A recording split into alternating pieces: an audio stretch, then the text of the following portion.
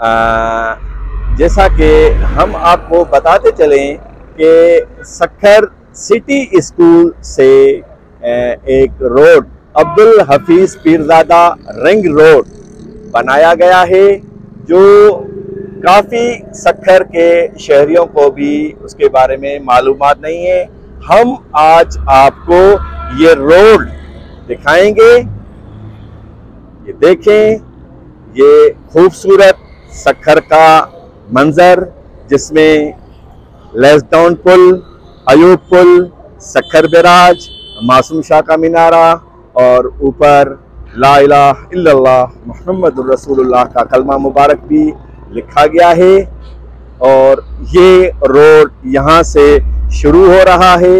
काफ़ी सखर में रहने वाले और सखर से बाहर रहने वाले लोगों को इस रोड के बारे में मालूम नहीं है। हम आज आपको इस रोड के बारे में बताएँगे कि ये रोड जो है सखर बस स्टैंड से जब आप आगे आएँगे तो आप सिटी स्कूल पर जब पहुँचेंगे तो वहाँ सिटी स्कूल से ये रोड शुरू होता है।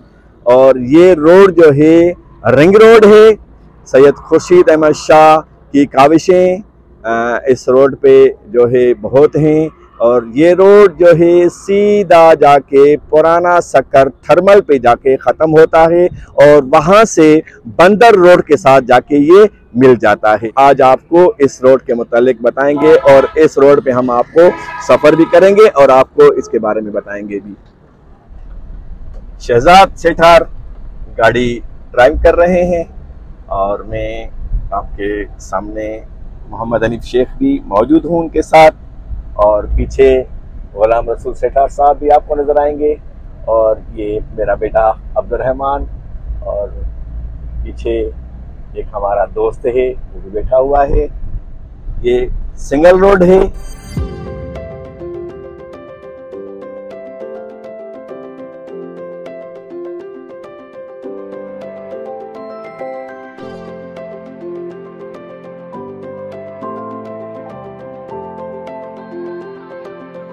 आप ये देखें कि खजूरें जो हैं, यहाँ पर बहुत ही आपको नज़र आएँगी। अल्लाह ताला की कुदरत के हज़ारों की तादाद में यहाँ पर खजूरों के दरख्त हैं और उनमें इस टाइम जो है, महीना जुलाई का चल रहा है और देखें खजूरें यहाँ पर बहुत सारी लगी हुई हैं। इस रोड पे लाइटिंग का ज़बरदस्त इंतज़ाम है ताकि रात को आने वाले मुसाफिर परेशान ना हो। रोड की एक तरफ़ लाइटें लगी हुई हैं।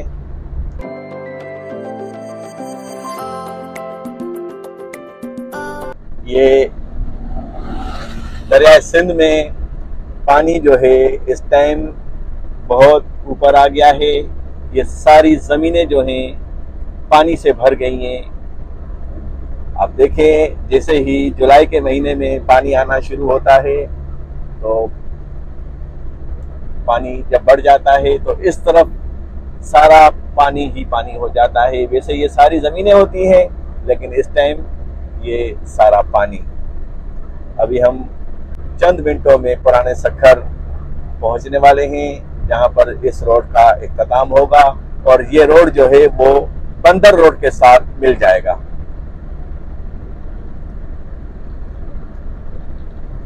इससे पहले सखर की बड़ी दरसगाह, मंजलगाह भी आएगी, मदरसा अशरफिया भी आएगा, और ये रोड सीधा जाके बंदर रोड से मिल जाएगा। ये देखें, पानी इस टाइम जो है, वो ठाठे मारता समंदर लग रहा है। देखें, ये कश्तियाँ भी यहाँ पहुँच गई हैं। वैसे ये सारी ज़मीनें होती हैं। लेकिन इस टाइम ये सारा पानी ही पानी हो गया है। जब दरिया सिंध में सैलाब की सूरत हाल हो जाती है तो ये देखें, सारा पानी पानी हो जाता है। ये हुकूमत की तरफ़ से ये पानी को रोकने के लिए ये छोटे छोटे बंद बनाए जा रहे हैं, ताकि पानी शहर में इन ना हो सके और पानी जो है वो टुकड़ों में बढ़ जाए। और पानी का जो भाव है, जो प्रेशर है, उसको कम करने के लिए ये सखर की इंतज़ामिया ने ये छोटे छोटे पहाड़ी पत्थरों के बंद बनाए हैं ताकि पानी का प्रेशर कम हो जाए और पानी शहर में दाखिल ना हो। क्योंकि आप इस तरफ़ देखेंगे तो आबादी जो है वो पानी से बहुत नीचे है। आबादी बहुत नीचे है और सिर्फ़ अगर ये रोड ना हो तो ये पानी जो है सारा पुराने सखर में आ सकता है। हम इस टाइम जो है थर्मल पे पहुँच गए हैं तकरीबन। अभी आपके सामने ये एक हिंदुओं का मंदिर आपको नज़र आएगा। ये सामने लेस डाउन पुल अभी हम लेस डाउन पुल के करीब पहुँचने वाले हैं।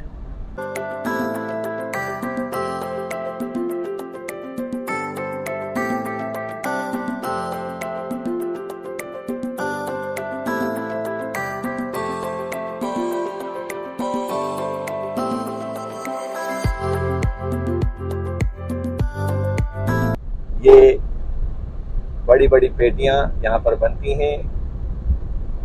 ये सारे दुकान जो हैं, ये खूबसूरत किस्म के बक्स बनाए जाते हैं यहाँ पर। बिस्तरे रखने के लिए, सर्दियों के बिस्तरे, जो कपड़े वगैरह हों घरों में, वो रखने के लिए यहाँ पर ये सारा इलाका इसका है। पहले यहाँ पर कश्तियाँ भी बनती थी, लेकिन अभी कश्ती मौजूद नहीं है यहाँ पर। नहीं तो हम आपको वो भी दिखाते। बंदर रोड सखर। बंदर रोड सखर की तरफ़ हम पहुँच गए हैं। अल्हम्दुलिल्लाह, सखर का मौसम जो है 10-15 दिनों की शदीद गर्मी, जो कि तकरीबन 50 से ऊपर ऊपर सेंटीग्रेड गर्मी थी, लेकिन आज मौसम बहुत ही अच्छा हुआ। सुबह फजर की नमाज़ के बाद बरसात भी अच्छी हुई। The Sukkur chambers of commerce industry Evan Sanat ये देखें, ये एनसीबी बैंक के बराबर में है। ऐवान सनत व तजारत सखर चैम्बर ऑफ़ कॉमर्स अब हम बंदर रोड से जो है सखर टाउनशिप की तरफ़ गामजन है हमारा सफ़र। ये जो है बिल्डिंग जो बनी हुई है ये सखर का रिहेबुलेशन सेंटर रिहेबुलेशन सेंटर इस आ, की दीवारों पे आ, पाकिस्तान की सकाफत। ज़बरदस्त किस्म का रिहेबुलेशन सेंटर और रॉयल दरबार बारबेक्यू यहाँ पर आप देखेंगे। इसके बाद हम यहाँ पर आपको दिखाएँगे कि सखर की सबसे मशहूर बिरयानी, जायका बिरयानी। ये जायका फ़ूड और सखर की सबसे मशहूर जायका बिरयानी यहाँ पर मिलती है। बहुत ही पुरानी और कदीमी जामिया मस्जिद। और इस मस्जिद की एक ख़ास बात यह है कि इस मस्जिद का जो कलर है, वो जब से इसकी तामीर हुई है, आज तक इसकी यही तामीर है। ये मस्जिद, जामिया मस्जिद सखर में इस टाइम अजान का वक्त है, असर की अजान का वक्त है, अजान हो रही है। उसके बाद एक और मस्जिद का मीनार आपको सामने नज़र आएगा। ये सखर के बहुत बड़े मुफ्ती मुफ्ती अब्दुल बारी। उसने ये मस्जिद बनवाई, जिसका नाम अल्लाह वाली मस्जिद रखा गया। ये अल्लाह वाली मस्जिद का आप मीनार देख रहे हैं। ये भी सखर की बहुत बड़ी मस्जिद है।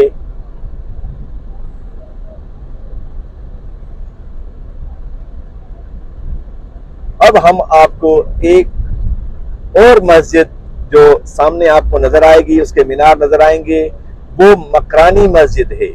ये रोड के दरमियान में ये मस्जिद होती थी, जिसकी वजह से रोड जो है वो ज़्यादा चौड़ा नहीं था।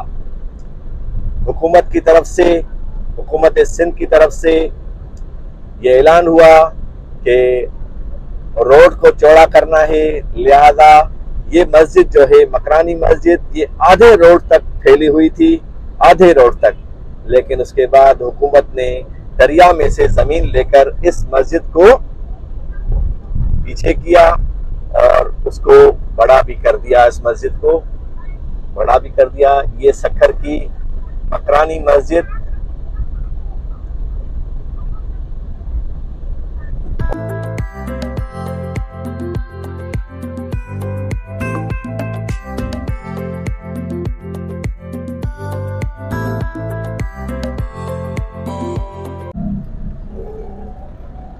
ये अभी आप देखेंगे कि लबे मेहरान का गेट, ये लबे मेहरान का ज़बरदस्त गेट, यहाँ पर बहुत सी किस्म की बच्चों के लिए खेलने की जगह वॉकिंग ट्रैक दरिया का खूबसूरत मंज़र फ़ूड स्टॉल और बहुत सी चीज़ें यहाँ पर शक्कर की जान लबे मेहरान शक्कर के शहरी अपनी थकावट दूर करने के लिए तकरीबन लब्बे मेहरान में आते हैं। सामने आपको शक्कर का दरिया भी नज़र आएगा, सिंध, दरिया सिंध, वो भी आपको नज़र आएगा। और ये world globe Sukkur I love Sukkur.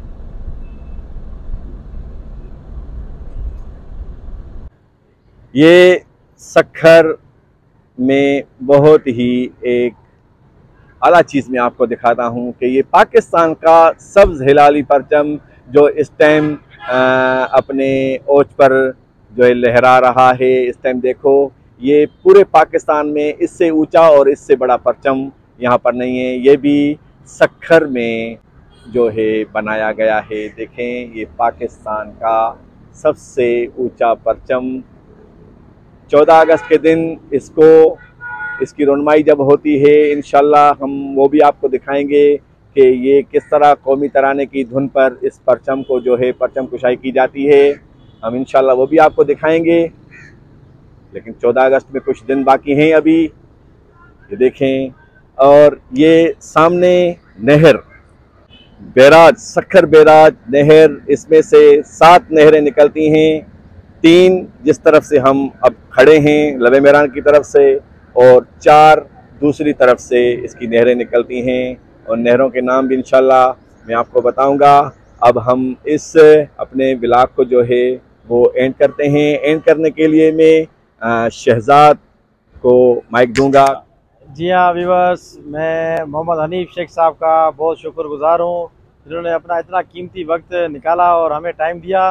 और हमारे साथ इतनी भरपूर रहनमाई की और आपको बिल्कुल इंटरटेनमेंट करते हुए चले और साथों साथ आगाही देते रहे कि, कि हम कहाँ हैं। इस वक्त हर चीज़ के बारे में आपको डिटेल से बताते रहे और इन ताला हम अपने मज़ीद वीडियोस के साथ सर को तकलीफ़ देते रहेंगे और आपको रहनमाई देते रहेंगे। इन ताला अपने व्यूवर्स को और भी ज़्यादा ऐसे अच्छे भी पॉइंट्स दिखाते रहेंगे अपने ब्लॉग में और मैं बहुत शुक्रगुजार हूँ सर अनिफ साहब का। इन ताला मिलेंगे हम अपने नेक्स्ट ब्लॉग में। तब तक के लिए अपना बहुत ख्याल रखिएगा। Shahzad Sattar Bismillah general store Sukkur